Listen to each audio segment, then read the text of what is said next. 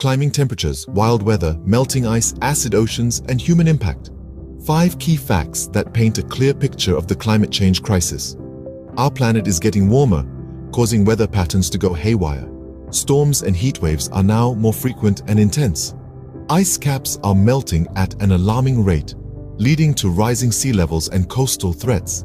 Excess CO2 is turning our oceans acidic, creating a hostile environment for marine life and coral reefs. But here's the silver lining. Our actions can make a difference. By cutting emissions, planting trees, and embracing sustainable practices, we can combat climate change. It's time to power up with clean energy, reduce waste, and endorse sustainability. The future of our planet is in our hands.